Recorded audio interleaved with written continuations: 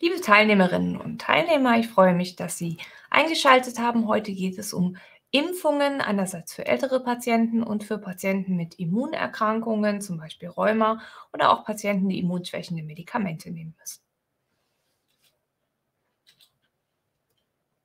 Ich habe einige Interessenskonflikte, ähm, die mich aber bei der Erstellung dieses Vortrags nicht beeinträchtigt haben.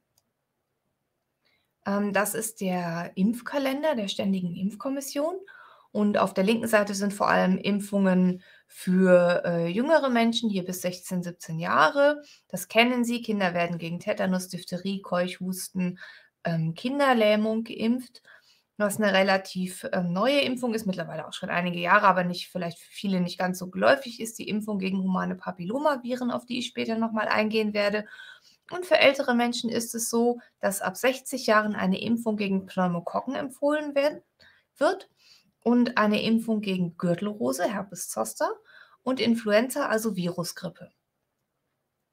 Ganz grundsätzlich ist es so, Impfungen schützen vor Infektionen und ähm, da geht es um Infektionen, die bei Immunschwäche gehäuft auftreten. Häufig sind die Patienten leider eher noch schlechter geimpft als die Allgemeinbevölkerung es gibt aber keine Belege, dass Impfungen Schübe von Immunerkrankungen auslösen. Die meisten immunschwächende Medikamente stören leider den Impferfolg und Lebendimpfungen können unter immunsuppressiver Medikation häufig nicht gegeben werden. Erfreulicherweise ist es aber so, dass Erwachsene nur in Ausnahmefällen Lebendimpfungen erhalten müssen. Das ist eher ein Problem in der Kinderheilkunde. Wer gilt als immungeschwächt und sollte geimpft werden? Alle Patienten mit Krebserkrankungen oder rheumatischen Erkrankungen sollten speziell für ihre Immunschwäche geimpft werden, insbesondere dann, wenn sie eine immunschwächende Therapie erhalten.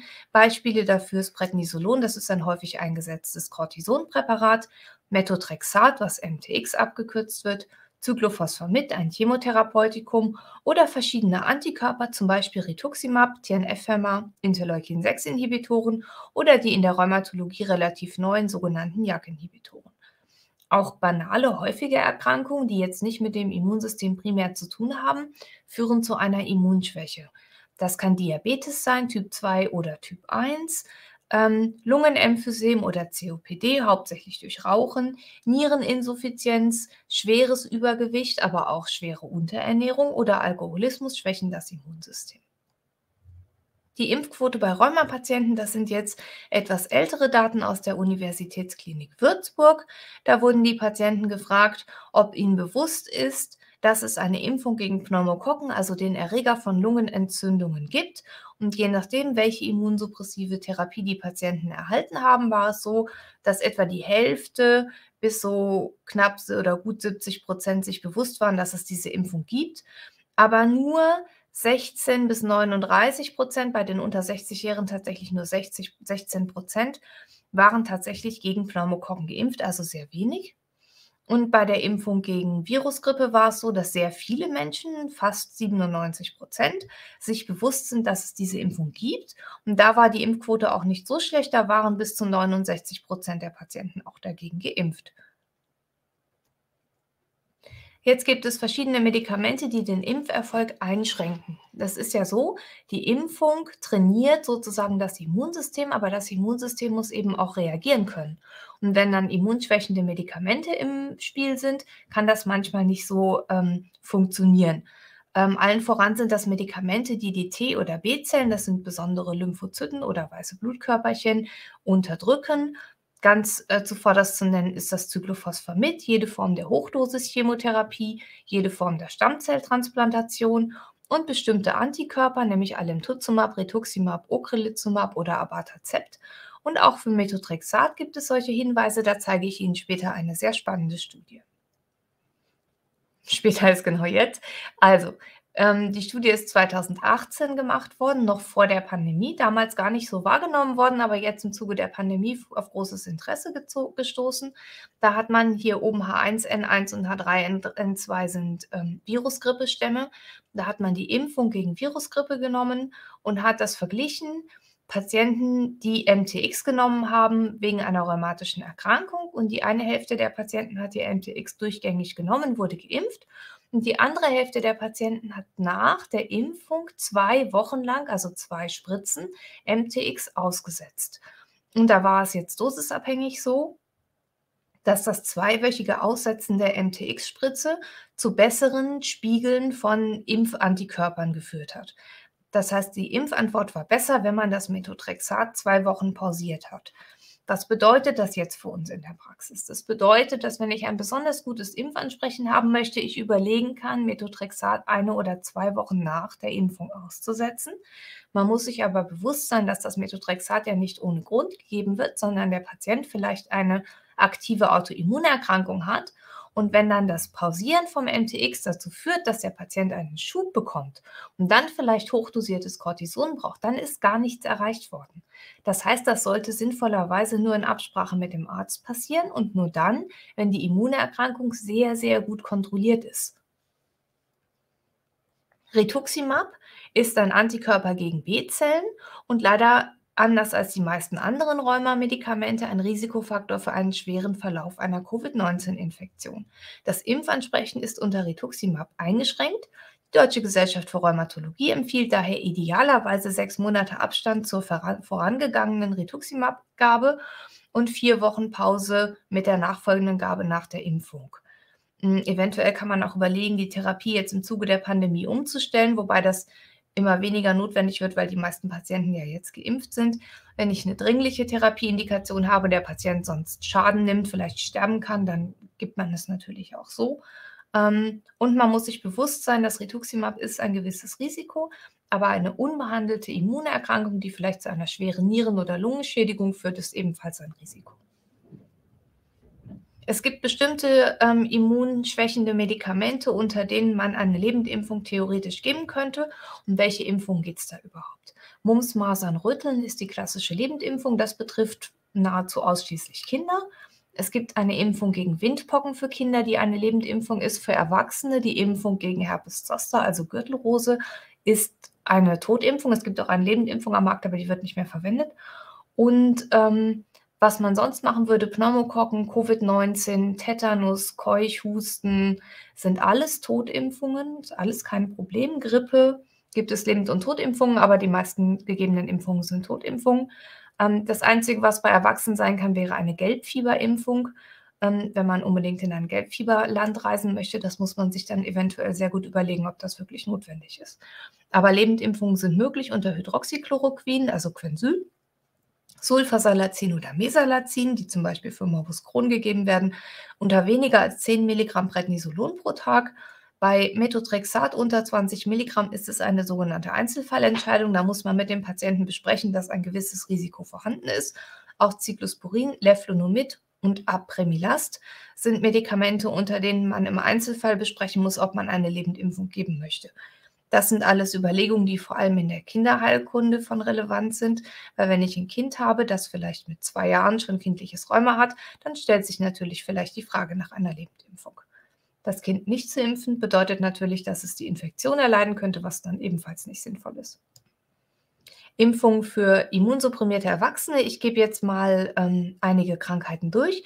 Pneumokokken habe ich eben schon mal erwähnt. Ähm, Streptococcus pneumoniae ist der korrekte Name des Erregers. Ähm, es handelt sich um einen Erreger der Lungenentzündung. Da gibt es 93 Serotypen. Die Infektion ist über Schmier- oder Tröpfcheninfektion. Viele Menschen haben das im Körper, ähm, ohne krank davon zu werden. Ähm, verursacht Atemwegsinfektionen, aber auch Hirnhautentzündung, kann auch eine Ohreninfektion machen. Mm, so eine Lungenentzündung von, mit Pneumokokken kann einen ganz schweren Verlauf nehmen und gerade für ältere oder immungeschwächte Menschen auch tödlich sein. Es sind zwei Impfungen am Markt, Pneumovax und Prevenar. Für gesunde Erwachsene wird einmalig Pneumovax ab 60 Jahren im STIKO-Impfkalender empfohlen. Gesunde Kinder erhalten Prevenar, weil deren Immunsystem auf das Prevenar besser reagiert als auf Pneumovax. Ähm, und für immunsupprimierte, also immungeschwächte Erwachsene wird in jedem Alter empfohlen, erst Prevenar und sechs Monate später Pneumovax zu impfen und anschließend alle sechs bis zehn Jahre mit Pneumovax aufzufrischen. Dann gibt es noch die Impfung gegen die ähm, Reaktivierung einer Infektion mit Varicella zoster, also die Gürtelrose. Varicella zoster ähm, verursacht bei Erstinfektion Windpocken. Die meisten erwachsenen Menschen haben früher Windpocken gehabt. Und das Windpockenvirus verbleibt im Körper und kann eine Gürtelrose auslösen. Das passiert vor allem bei Stress, ähm, schwerer Erkrankung, immunsuppressiver Medikation. Ähm, und diese Gürtelrose, die dadurch wieder auftreten kann, die kann durch die Impfung verhindert werden. Bei denjenigen, die nie Windpocken hatten, weil sie zum Beispiel jetzt heutzutage erst 15 sind und als Kind dagegen geimpft wurden, die können keine Gürtelrose bekommen und müssen sich deswegen auch nicht gegen Gürtelrose impfen. Es gibt einen Totimpfstoff, das Produkt heißt Shingrix. Also gibt es zwei Impfungen im Abstand von zwei bis sechs Monaten. Für Erwachsene ab 60 Jahren ist es generell empfohlen und für immunsupprimierte Patienten bereits ab 18. Impfung für immunsupprimierte Erwachsene weiter. Saisonale Grippe, also Influenza A und B, ähm, ist auch ein Erreger von Atemwegsinfekten. Ähm, problematisch kann sein, dass man erst Virusgrippe bekommt und dann eine bakterielle Lungenentzündung zusätzlich. Ist auch eine Tröpfchen- oder Schmierinfektion. Die Saison ist vor allem Oktober bis Mai bei uns. Die Impfung muss jährlich neu gemacht werden, je nach den vorherrschenden Stämmen. Die ist auch mal besser, mal schlechter, muss man sagen.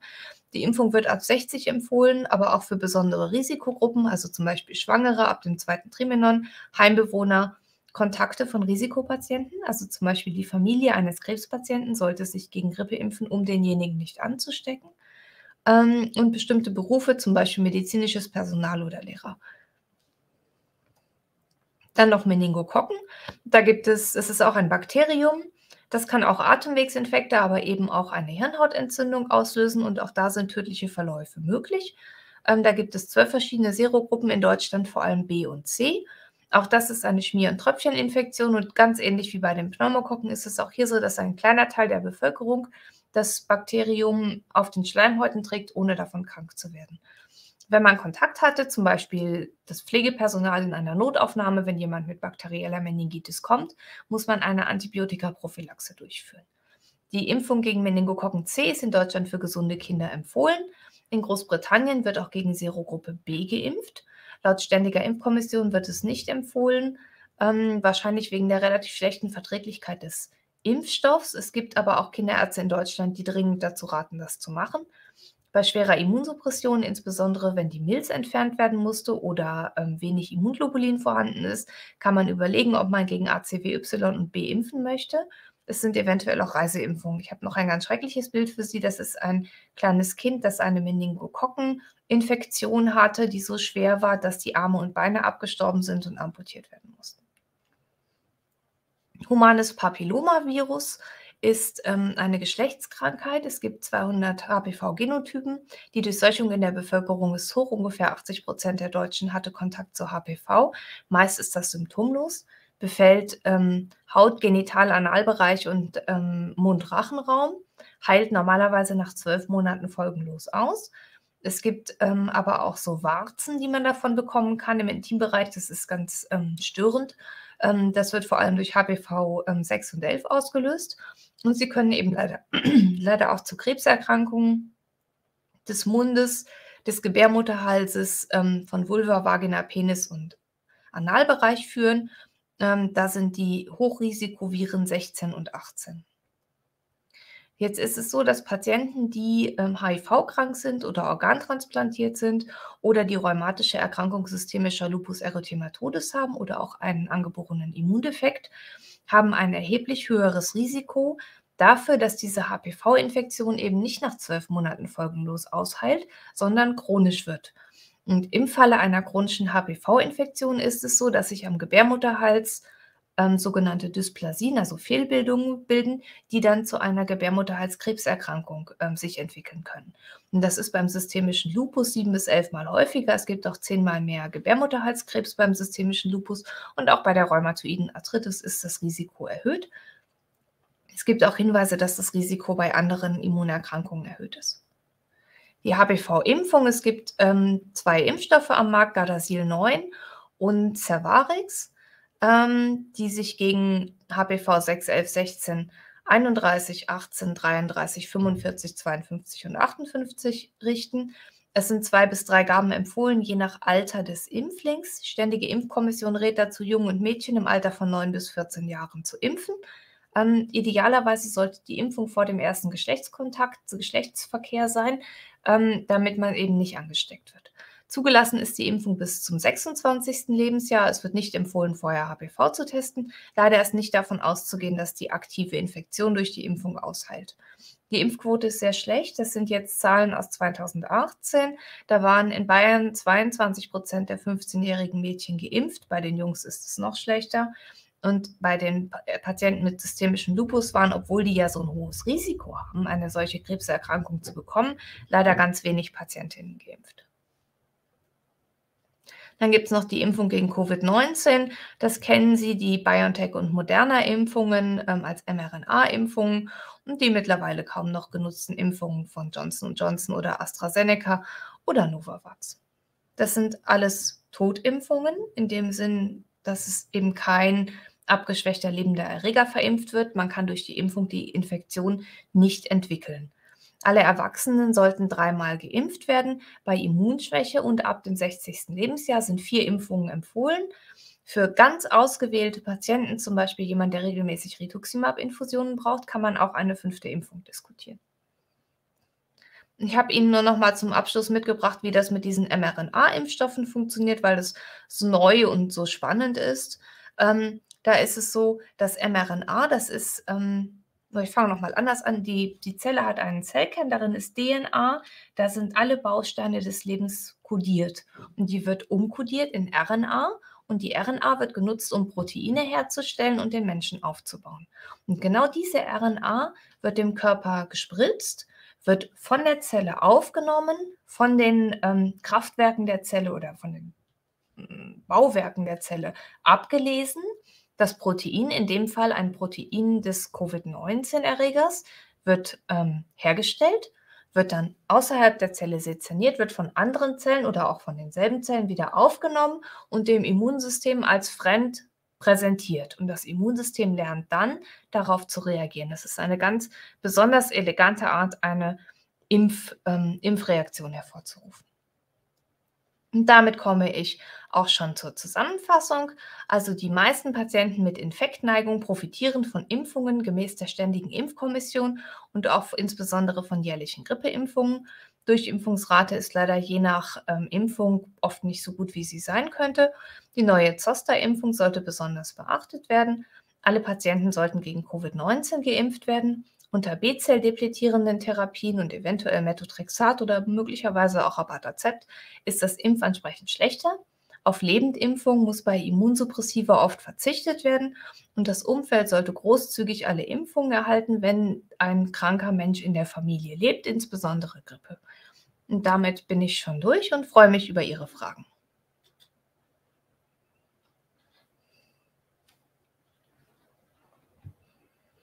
Wir haben eine erste Frage. Und zwar ähm, ist die Frage, ob Rituximab und Infliximab gleichzusetzen sind. Und das kann man mit einem klaren Nein beantworten. Infliximab ist ein sogenannter TNF-Hämmer, der sich gegen den Botenstoff Tumornekrosefaktor richtet.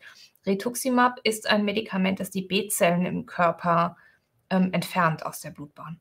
Die B-Zellen sind jetzt genau die Zellen, die die Antikörper bilden. Das heißt, wenn ich Rituximab gebe, habe ich danach keine Antikörperbildung mehr oder jedenfalls keine neue Antikörperbildung. Also ich habe kein, kein Antikörperimpfansprechen. Ich habe immer noch ein Impfansprechen durch andere Zellen im Körper, nämlich die T-Zellen. Deswegen ist die Impfung nicht völlig sinnlos, aber sie wirkt nicht mehr so gut, weil ich keinen Antikörpertiter aufbaue wohingegen der TNF-Hämmer das Impfansprechen, wenn überhaupt, nur ganz wenig stört.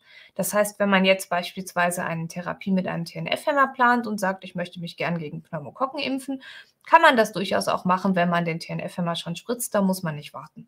Wohingegen vor einer Rituximab-Therapie, wenn das denn zeitlich aufgrund der Erkrankung möglich ist, vielleicht erst geimpft werden sollte und dann die Therapie gegeben werden sollte.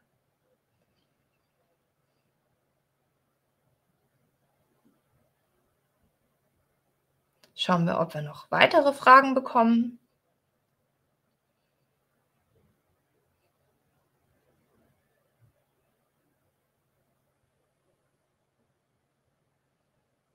Okay, ich denke, wir haben keine weiteren Fragen. Ich freue mich, dass Sie teilgenommen haben, hoffe, dass Sie vielleicht ein bisschen was erfahren haben und dann sehen wir uns möglicherweise an dieser Stelle wieder.